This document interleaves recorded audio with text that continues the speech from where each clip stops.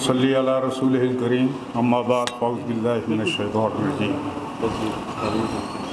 नहायत काबिल एहतराम मम्बरान Lahore high court bar association और मेरी क्यादत मुझे यहाँ आना नहीं चाहिए था क्योंकि बातें सारी हो चुकी हैं मेरा गिला है जनाब सदर से कि अगर फ़लस्तीन के साथ कश्मीर की करारदाद भी लिंक होती तो उसमें कोई मज़ाक नहीं।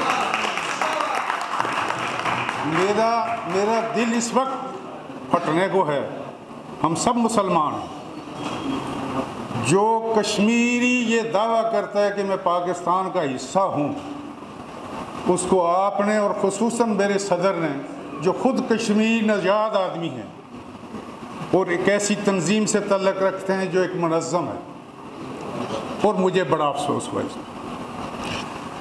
दूसरी करारदाद के बारे में बात करूँगा कि फ़लस्तीनियों के साथ हम हमेशा से रहे हैं, आइंदा भी रहें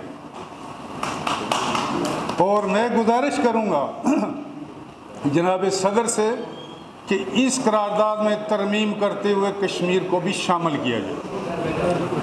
रही दूसरी करारदाद की बात। हम कानून के महाफज लोग हैं, आइन के महाफज लोग हैं।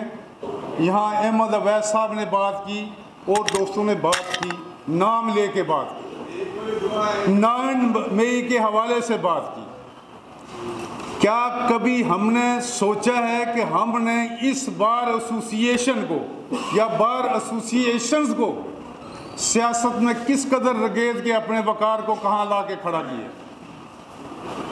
और आज अगर चीफ जस्टिस ऑफ़ पाकिस्तान ने एक नोटिस ली है, उन्होंने एक एक्ट दुरुस्त सिमत में लिया है, बहुत सारे ऐसे मकदमा का फैसला किया है जिनको हाथ लगाते हुए सारे डरते थे तो हमें उनको अप्रिशिएट करना चाहिए। जहाँ जहाँ कहीं कोताही हो तो हमें अपनी जुडिशरी के साथ अगर जुडिशरी कोताही कर रही है तो उनसे बास पुरुष भी होनी चाहिए। और वकला को अपनी कम्युनिटी के साथ खड़े होना चाहिए। वकला का किरदार सबसे अहम है। हमें किसी सियासी जमात का अहलकार बन के कोई ऐसी बात नहीं करनी चाहिए जो हमारी उसके हो। और इससे सबक जो जितने मामला हुए क्या उनकी इंक्वायरी नहीं होनी चाहिए?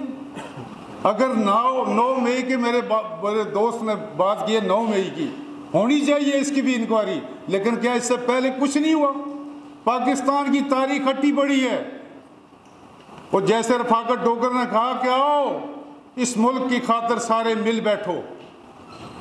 सारे मिल बैठो, अदालती फैसले अदालतों पे छोड़ दो। जिसने जो जुर्म किया, सजा वहाँ से पाएगा। लेकिन मुल्क की खातर सब मिल के इस मुल्क को आगे बढ़ाओ। मैं इन्हीं अल्फाज के साथ एजाज़ चाहता हूँ। हम आए लेना लड़ रहा